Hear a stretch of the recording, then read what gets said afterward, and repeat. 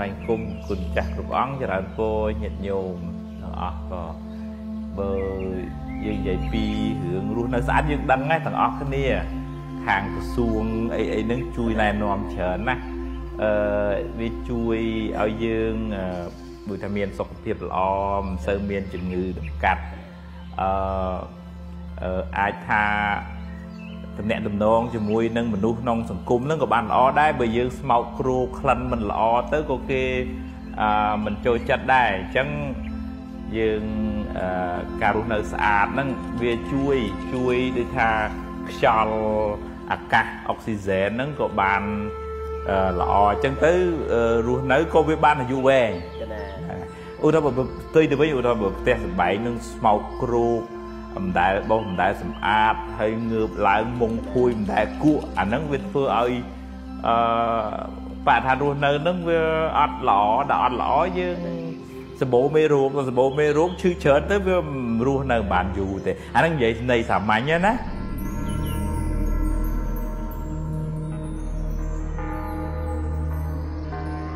កតងនឹងសំណួរបងអូនលើកមកហ្នឹងស្អាតចិត្តណែអាហ្នឹង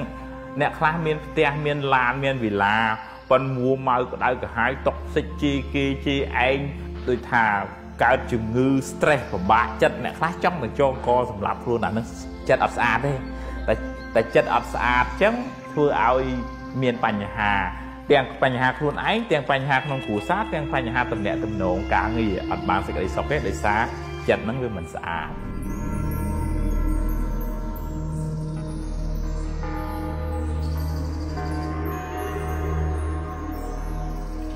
ជាងនៅនៅក្នុងន័យធម្មតាជីវវិទ្យាទៅកាន់តែយើងរស់នៅអត់ស្អាតមាត់យើងដុសអត់ស្អាតមានជំងឺច្រើនណាជំងឺភាគច្រើនកើតពីមាត់យើងហ្នឹងពីព្រោះអាកន្លែងហ្នឹងកន្លែងលេបចូលក្នុងពវៀនកាពះតែអញ្ចឹងត្រូវសម្អាតមាត់ឲ្យបានស្អាតកុំឲ្យមានធុំក្លិនកុំឲ្យកតិចកទីនៅក្នុងមាត់ហ្នឹងច្រើនពេកតែកតិចទីច្រើនពេកឈឺច្រើនណាស់កាពះពវៀនជំងឺអីសពគ្រប់បែបយ៉ាងច្រើនមែនតើ បាទអានឹងក្នុងន័យជីវវិទ្យាធម្មតាប៉ុន្តែបើនៅក្នុងន័យធម៌តាយើងរស់នៅអត់ស្អាតទាំងកាយទាំងវិចារចិត្តមានន័យថាយើងទៅបៀតបៀនគេនិយាយអេកអូចពីគេធ្វើបាបគេអានឹងមានកម្មមានពៀវិរិយគេខឹងគេស្អប់ព្រះអង្គសំដែងថាបុគ្គលខ្លះដុតខ្លួនឯងផងដុតអ្នកដតីផងអ្នកហ្នឹងធ្វើអាក្រក់ធ្វើអាក្រក់ជាមួយគេហើយ ជួនកាលអ្នកខ្លះហ្នឹងដេកក្តៅក្រហាយដុតរូលពិបាកចិត្តអាហ្នឹងដុតខ្លួនឯងហើយអញ្ចឹងបានចាំបាច់ត្រូវរៀនសម្អាតទាំង3ដើម្បីឲ្យមានសុខភាពល្អទាំងសុខភាពផ្លូវកាយទាំងសុខភាពផ្លូវចិត្តហើយជាពិសេសជាងគេគឺសម្អាតចិត្តហ្នឹងឯងជាយាមស្ដាប់ធម៌ព្យាយាមខ្សែគប់មិនល្អព្យាយាមអានសិភៅអប់រំចិត្តព្យាយាមធ្វើសមាធិអានឹងទើបធ្វើឲ្យចិត្តបានស្អាតហើយយើងមិនសូវកើតទុកតែអត់បានអប់រំចិត្តទេយើងកើតទុកខ្លាំងណាស់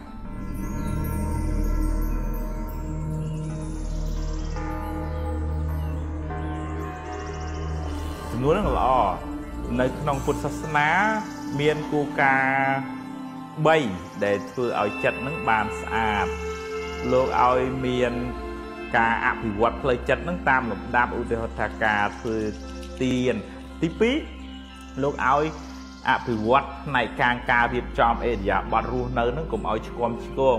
ឬក៏លោកហៅថាសិលទី3អឺការធ្វើភាវនា អាហ្នឹងដុសខាត់សម្អាតពីខាងក្នុងណាយ៉ាងណាចិត្តរបស់យើងហ្នឹងក៏អញ្ចឹងដែរយើងលះបង់អាខឹងក្រេវក្រោតអន់ចិត្តចំណែននិនទាឈ្នានេះអេកអូចនិយាយដើមគិតច្រើនអីហ្នឹងមកបញ្ចូលទៅជារឿងអីថាស្រឡាញ់ញញឹមរស់រាយរាក់ទាក់ផ្ដល់សេចក្តីស្រឡាញ់ចែករំលែកទៅហើយរៀនអប់រំចិត្តរៀនគ្របសង្កត់អកុសលទៅយើងដាក់បើយើងនិយាយសាមញ្ញទៅដាក់ជាតិរ៉ែចូលនៅក្នុងចិត្តចិត្តហ្នឹងវាមាន សារជាតិចិញ្ចឹមល្អវាស្រស់វាថ្លាអញ្ចឹងហើយ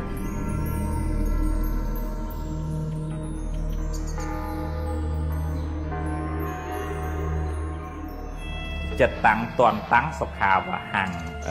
អបការអប់រំទូមានចិត្តបានល្អនាំមកនៅសេចក្តីសុខអញ្ចឹងដែរចឹងរឿងហ្នឹងព្រះអង្គប្រារព្ធសម្ដែងតាក់ទងនឹងឧបាសកម្នាក់ឈ្មោះធម្មិកៈពេលគាត់ឈឺខ្លាំងហ្នឹងគាត់ដូចថា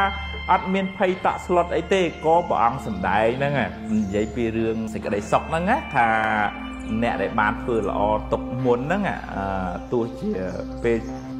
មុនស្លាប់ក្តីកំពុងរៀបចំនឹងក្តីស្លាប់ទៅបដិសន្ធិក្នុងជាតិថ្មីក្តីក៏បានសេចក្តីសុខដែលដោយសារបានសម្លឹងឃើញនៅអំពើល្អដែលខ្លួនបានធ្វើហើយនឹងឯងអញ្ចឹងជារឿងមួយល្អដែលយើងត្រូវ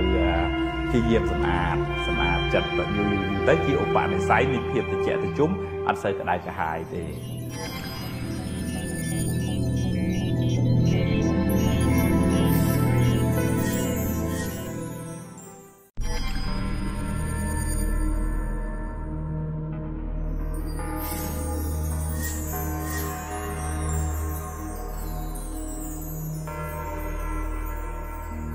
ច្រើនពោឯរឿង អំនួតនេះបើនិយាយទៅអ្នកណាក៏សឹងតែមានគ្រប់គ្នាទៅហើយជាសាមញ្ញជនណាអឺប៉ុន្តែសួរតែយើងអួតទៅវាអស្ចារ្យទេជួនកាលវាអ្នកខ្លះអត់មានទេប៉ុន្តែនិយាយដើម្បីឲ្យឲ្យឃើញថាខ្លួនឯងនឹងគ្រាន់បើអឺអ្នកខ្លះបង្ហោះរបស់របរសល្អល្អប៉ុន្តែខ្ចីលុយគេទិញទេអាហ្នឹងក៏អួតដែរ អ្នកខ្លះចេះមួយប៉ុន្តែនិយាយដូចចេះ100អញ្ចឹងហើយអ្នកខ្លះទៅមើងងាយការអូវាខ្មេះទេប៉ុណ្ណឹងអញធ្វើតែផ្លែតហើយអាហ្នឹងអួតដែរអាហ្នឹងមិនមែនបង្ហាញអំពីអំណាចទេអឺពេលដំបូងយើងមើលទៅដូចជាមានអំណាចមែនមនុស្សហ្នឹងនិយាយទៅអូអស្ចារ្យហ្មងប៉ុន្តែពេលយូរទៅបានដឹងថាអូអ្នកហ្នឹងអឺតាមពិតទៅមិនមែនជាមនុស្សខ្លាំងទេ បើប្រៀបធៀបស្មើនឹងប៉ោតដែលអត់ទឹកវាវាយទៅលឺរងរាំងរងរាំងហើយបើប៉ោតដែលមានទឹកមែនមនុស្សដែលគេចេះមែនគេធំត្រូវមែនគេមិនសូវរងរាំងហ្នឹងទេអញ្ចឹងអឺអាត្មាថាឲ្យតម្លៃទៅលើចំណេះទើបជាអំណាចសិលធម៌ទើបជាអំណាចពិតអឺសមត្ថភាពទើបជាអំណាចពិតមិនមែនអំនួតទេ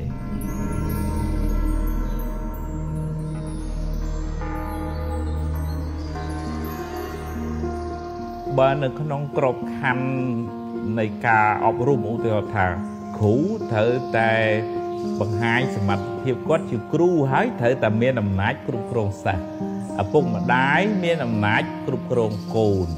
ខ្ញុំជាម៉ែខ្ញុំជាឪខ្ញុំមានសិទ្ធិសម្រេចអាហ្នឹងមិនមែនជាអំនួតទេប៉ុន្តែវាជាទួនាទីទៅវិញប៉ុន្តែផ្ទុយទៅវិញឧទាហរណ៍ថាបើដើរបង្អួតបង្អដើរបង្ហាញរឹក បញ្ចេញរិទ្ធអីចឹងទៅឲ្យគេអ្នកដតីមិនត្រូវនឹងបង្ហាញហ្នឹងឲ្យគេដឹងដែរអាហ្នឹងចាត់ចូលជាការបង្អួតបង្អអាហ្នឹងបង្ហាញថាយើងមិនមានសមត្ថភាពគ្រប់គ្រងខ្លួនឯងចឹងជាសរុបមកវិញបើជាការបំពេញតួនាទីហើយ បញ្ចេញអំណាចសម្រាប់អ្នកខាងក្រៅបង្គាប់អនុវត្តតាមអានឹងជាការគោរពទួនាទីមិនមែនជាអំណាចប៉ុន្តែបើសិនជាប្រើនៅក្នុងកលៈទេសៈខុសឬក៏ជាមួយមនុស្សខុសអានឹងចាត់ទុកថាជាអំនួតដែរ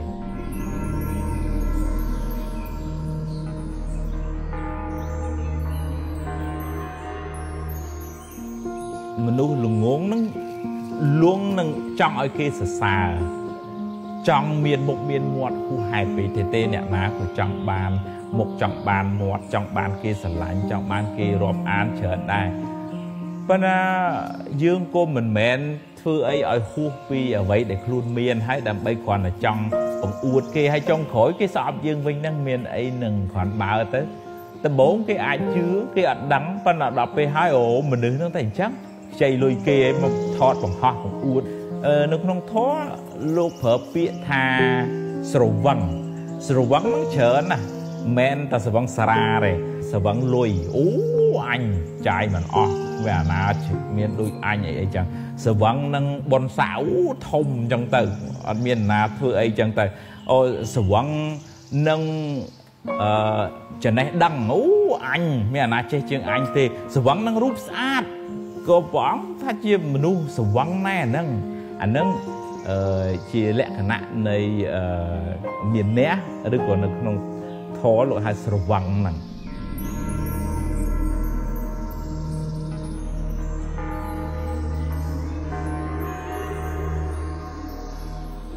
មនុស្សដែលអួតច្រើនហ្នឹងគេអាចគេមិនសូវចូលចិត្តឬក៏គេគ្រាន់តែគួសមនៅមុខហើយខាងក្រោយគេនិយាយដើម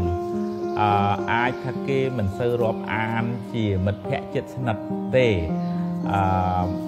គេគិតថាមនុស្សប្រហោងក្នុងយកជាការមិនបានអឺហើយ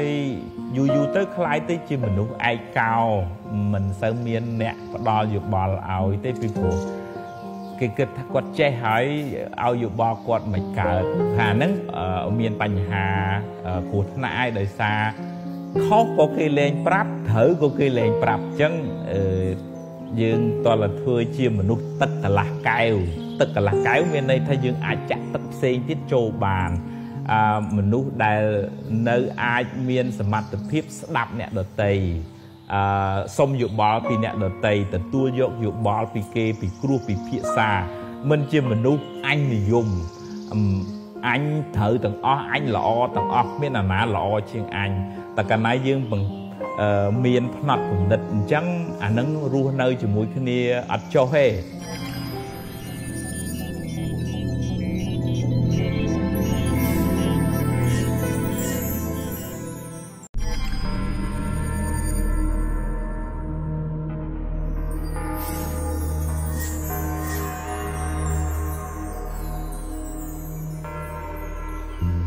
បើនៅក្នុងធម៌លោកថា ការអប់រំមាន3មានសីលសិក្ខាអាហ្នឹងខ្ពស់ជាងការអប់រំគ្រាន់តែលេខអក្សរនិពន្ធហ្នឹងមានន័យថាការអប់រំចរិយាមារយាទឲ្យបានល្អចិត្តសិក្ខាការអប់រំចិត្តឲ្យបានល្អហើយនឹងបញ្ញាសិក្ខាគឺការអប់រំបញ្ញាស្មារតីនឹងឲ្យភ្លឺថ្លាឲ្យច្បាស់ដើម្បី ដោះខ្លួនឯងនឹងចេញពីសេចក្តីទុក្ខហ្នឹងអញ្ចឹងជាសរុបមកវិញការសិក្សាការអប់រំហ្នឹងមិនមែនតែលេខនិពន្ធនេះគឺមានទាំងការសិក្សាផ្នែកចរិយាមេរយាទសិលធម៌ចរិយាធម៌ហើយនឹងការសិក្សាអប់រំផ្នែកខាងគុណធម៌សតិបញ្ញាស្មារតីទៀតបង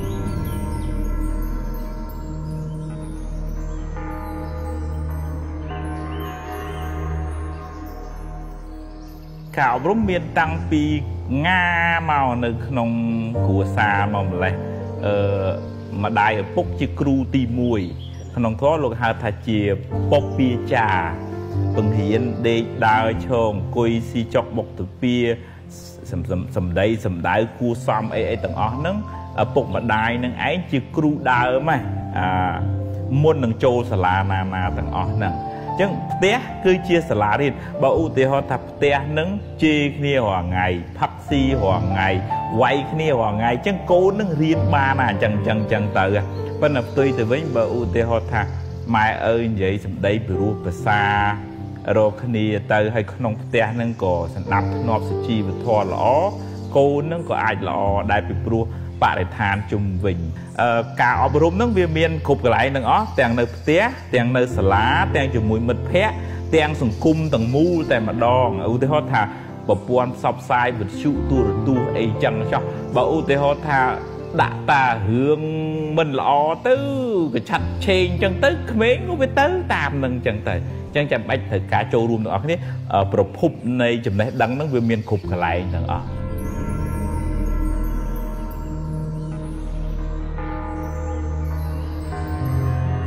ម្នាក់ម្នាក់តើមានចំណេះវិជ្ជាណាមួយឲ្យច្បាស់លាស់ទើបអាចចិញ្ចឹមជីវិតបាន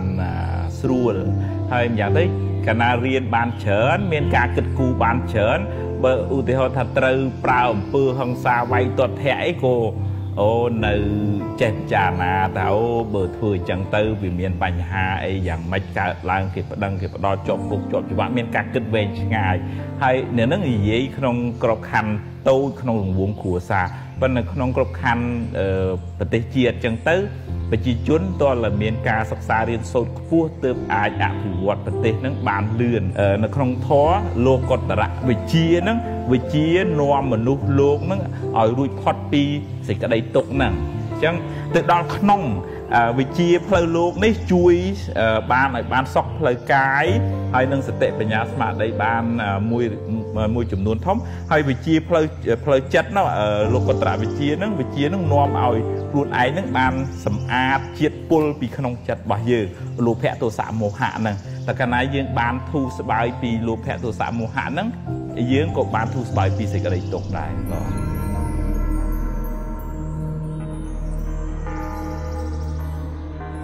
នៅក្នុងពុទ្ធសាសនាលោកប្រាប់អំពីប្រភពបញ្ញានឹងមាន3ទី1លោកហៅសុតមយៈបញ្ញាមានន័យថាបញ្ញាកើតអំពីការស្ដាប់ការរៀនការសូត្រការអានការមើលបញ្ញារបស់អ្នកដតីអាហ្នឹងគ្រូបង្រៀនទៅអ្នកប្រាជ្ញណាទេសនាឲ្យស្ដាប់ទៅយើងមើល YouTube ទៅឯកសារប្រវត្តិសាស្ត្រយើងបានចំណេះដឹងពីអ្នកដតីមក អានឹងយើងខ្ចីបញ្ញាគេមកប្រើលោកហៅថាសុតមយៈបញ្ញា ទី2លោកហៅថាចិនតមយៈបញ្ញា បញ្ញាកើតពីការត្រេះរិះពិចារណាច្នៃប្រឌិតអឺធ្វើម៉េចដើម្បីឲ្យចេញជារបស់ណាមួយថ្មីមកអញ្ចឹងឧបមាឧទាហរណ៍ថាយើងអត់មានកង់ជិះទេកាលពីមុនយើងជិះតាតេះគោឯងអញ្ចឹងយើងឆ្នៃធ្វើម៉េចឲ្យមានកង់ជិះអូកង់វាពិបាកវារៀងយឺតអញ្ចឹង យើងធ្វើម៉េចដើម្បីឲ្យលឿនឆ្នៃធ្វើម៉េចឲ្យចេះចេញជាម៉ូតូមកអាហ្នឹងចិនតមយៈបញ្ញារហូតដល់បញ្ញាខ្ពស់ខ្ពស់ទៅគេឆ្នៃទៅធ្វើកប៉ាល់ហោះហោះ គេឆ្នៃធ្វើកុំព្យូទ័រទូរស័ព្ទអីហ្នឹងមនុស្សប្រភេទហ្នឹងមនុស្សហ្នឹងមានចិនតមយៈបញ្ញាខ្លាំងហើយទី3គឺត្រូវមានភាវនាមយៈបញ្ញា ការធ្វើសមាធិការអប់រំចិត្តការពិចារណាឃើញដំណើរនៃធម្មជាតិការលះបង់ការប្រកាន់ហួងហែងខ្លាំងហ្នឹងអានឹងទើបយើងបានសេចក្តីសុខនឹងជាប្រភពនៃបញ្ញាទី3គឺការរៀនអប់រំចិត្តធ្វើសមាធិហើយនឹងចម្រើនវិបស្សនាហ្នឹងបាទ